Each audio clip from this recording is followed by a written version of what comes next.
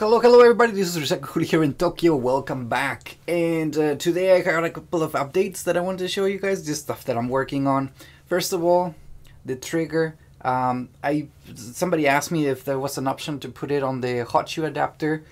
I didn't decide to make it a hot shoe adapter, I, I put a, a velcro uh, on this side of the camera just because, um, you know, people uses the trigger you know put some trigger in there stuff like that but some people doesn't have a trigger. Some people just use like natural and want to do out, outdoors and yeah i can see myself doing that because not every time i do a photo shoot i do it out uh, you know with triggers and flashes and stuff.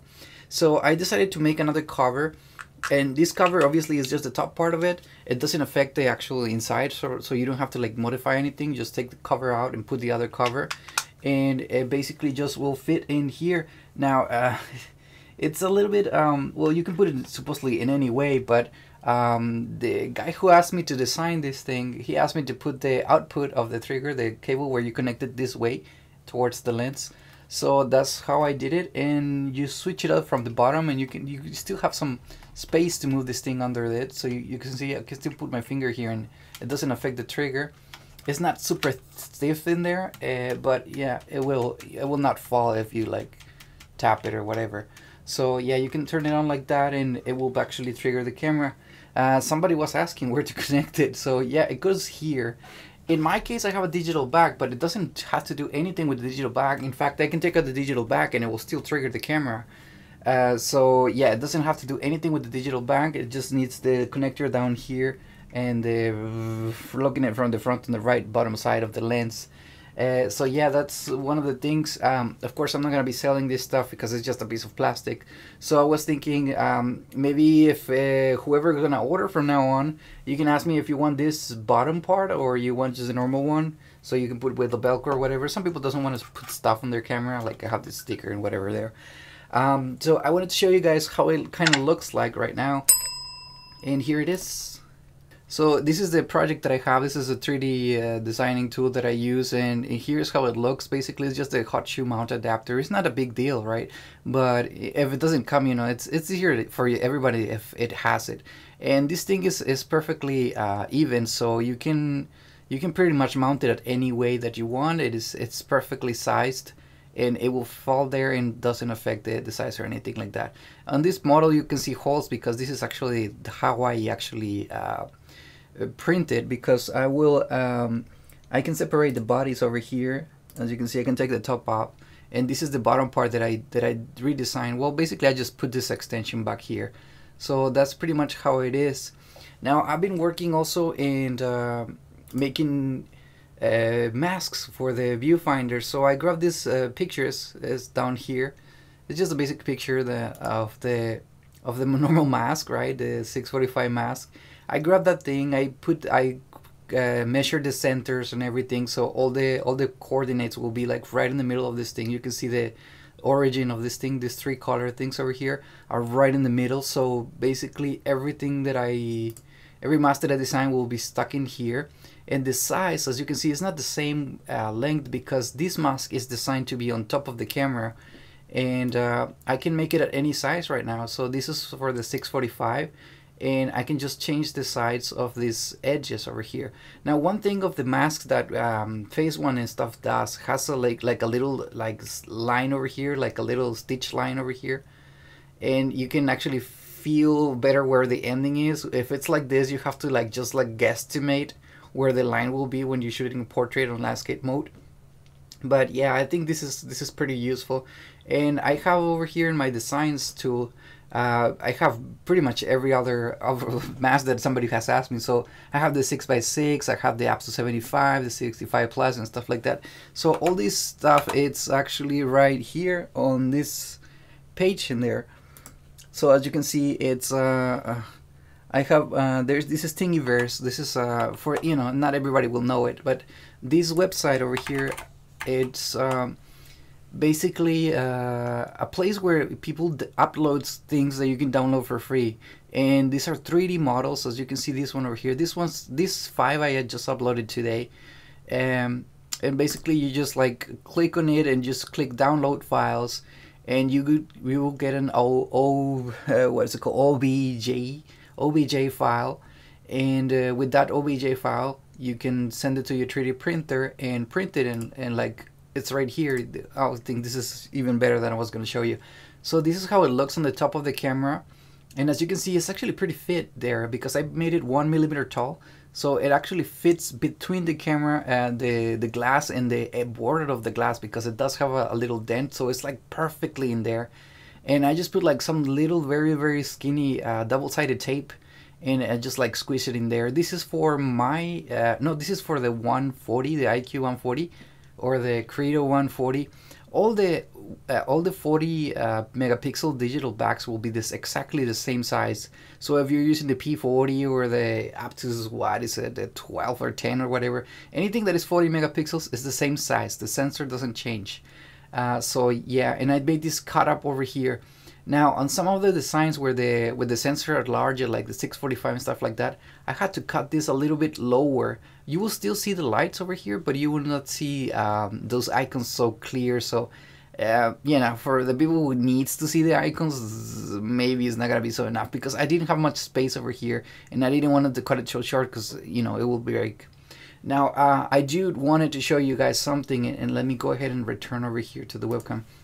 I wanted to show you guys something because on this camera um, and I mentioned in every single page over here um, I put a, a, little like warning over here to not put the the the viewfinder open when it's direct sunlight. So if you have like the viewfinder like this right it's open and you have this thing over here right you pull out this lens like that right and if the sun is hitting this thing it will create a beam of light. You know, like the you know the people the, the bad kids that killed ants and whatever with the with the beam of light that you can heat up and like burn stuff.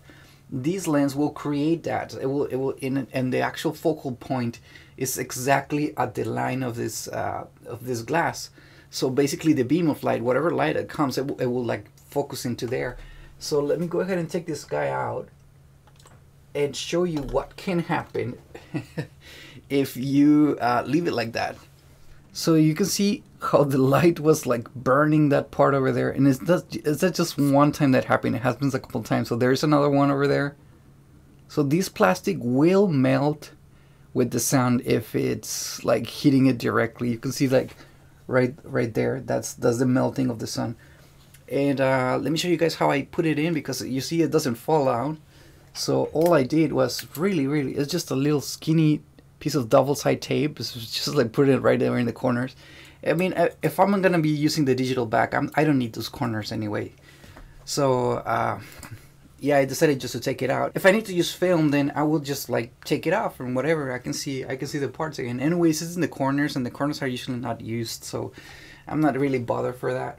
So there is that, and uh, yeah, if you guys need another um, mask, you can totally just like let me know and uh, I can just design it and upload it to the same website. The link is gonna be there forever. So if you want, you can just like uh, I don't know, like uh, favorite the page or whatever. Follow me if you have an account there. It's free. You can just download any any any size that you need, or you can ask me, and it doesn't cost me anything. I mean, I just I just put another number and I create another form. So it's actually pretty easy for me to do this. And now let me show you guys. Um, if you don't have a 3D printer, right? Uh, although this one over here is, is $200. It's really cheap and it's amazing. I've been doing my 3D prints and everything. I've been doing a lot of stuff, 3D printed stuff, and it's amazing. Uh, one roll of film is like one kilo kilogram of uh, plastic. It prints so much, and it costs like 15, 20 bucks or whatever. So you can get a lot of prints done with just twenty dollars. So it's way better sometimes than, than buying anything. Um, but if you don't have a use or you don't think you have a use for it, um, I know there's some places where they have like uh, libraries, public libraries. They do have like printing services. Maybe you have a friend or whatever. If anything goes bad and you live like in a place where there's no access to anything like that, um, let me show you guys a website. One of the websites, if you're in the states or whatever, is called. Uh, Shapeways. So here is a website. It's called Shapeways, and basically they will 3D print anything that you want, um, in pretty much anything. Like seriously, they don't use this type of extruder 3D printers like the one that I have. They use like more uh, sophisticated ones, and as you can see, you can print stuff like on all kinds of materials like carbon fiber and like gold and I mean I'm not even joking like eh, eh, and all you have to do is like upload a 3D model right so you click upload a 3D model uh, let me go ahead and sign in with my Facebook. So there we go. I'm signing in with my Facebook account and all you can do is like choose uh, just drag your 3D model. So basically I you just download the OBJ file and I have it on this desk over here. So here is my file. You just drop it in there. Boom. And it's gonna upload and it will like show spinning over here. It's really cute. It's loading it up and uh, there we go. So that's the that's the mask right now. And uh, you can actually spin it if you want to see it or whatever just playing around here. But then you have all these materials and stuff like that you can play with. You look at that platinum. If I want to make these little piece on platinum it's gonna cost me two thousand dollars. You can have silver, gold, and other stuff. But of course, you would just go for like the basic one, right? So uh, the versatile plastic, I'm not sure what exactly that means. Uh, do you have like all the uh, option over here. And I would not go for white. I would definitely go for black, or unless you want a black white, if you don't want those pay those 250, and just paint it black yourself. It's it's just a piece of plastic, so it doesn't matter and uh, yeah you, you basically just print that you don't need to be sturdy you don't need to be like holding temperatures and these and that so as long as you get this piece over here it's fine. Obviously if you have a, like a laser cut and or you have a CNC machine or whatever you want to like made it out of aluminum or whatever you can totally do that. Uh, the measures are exactly uh, perfect for the camera. Uh, let me know if there's an error with this with this part over here because I just like guesstimated over here. But it should be all fine and dandy there. So yeah uh, you see over here it costs five dollars over here um, but they do charge you some shipping depending on the country that you are. If I ship it all the way to Japan it was gonna cost me like $27 just for shipping uh, plus the five plus the five dollars for uh, printing it. So for this cheap material right uh, so it will be like like $34 to get this print done. So yeah um anyway if i'm going to print it to send it to somebody else it's going to cost me at least 20 bucks to send it so yeah like if you can get it on, on your near you or whatever or, if there's another website that you know actually on this thingiverse you can actually uh, i think there's an option to order this thing somewhere uh, I haven't seen it, but yeah, I'm, I'm pretty sure there's an option to order uh, from here.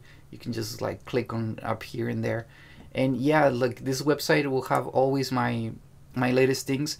And if I decide to release the the actual trigger back, which I was thinking uh, because you know you maybe have access to a better 3D printer that I have, and the picture would be you know the the the, the design would look more smooth most most like like right now like it's right here because uh, my 3d prints do not come like smooth and sharp like this. You can obviously sand it and paint it and whatever but if you order it in like Shapeways or whatever this this same piece it will come like perfectly uh, smooth or whatever like they do some finishing stuff for extra money and um, yeah all you needed to do was I, I just put this cover over here this hole up here I cover it with hot glue. That's that's all I do, uh, so the light uh, underneath can shine. And uh, and yeah, this is just fitting in, so it's not even a big deal to to put those things in.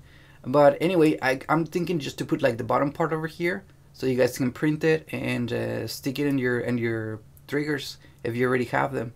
If not, what are you waiting for? like this is a really good thing to have. It works with Android and iPhone already, so yeah, um, that's pretty much all for right now. And I'm sorry I keep talking a lot as usual. So um, thank you guys for watching and see you guys in an update. Uh, you guys can ask me anything. I'm here for you guys.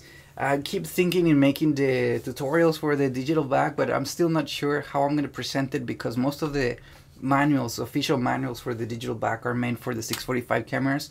So I'm not sure how I'm to try to like align that with this because uh, it doesn't it's not I don't even have the Pro 2D so I cannot show you all the features that the digital back can do.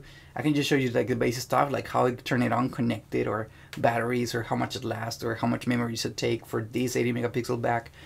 But yeah so yeah. If you have any questions let me know. See you guys soon. Bye bye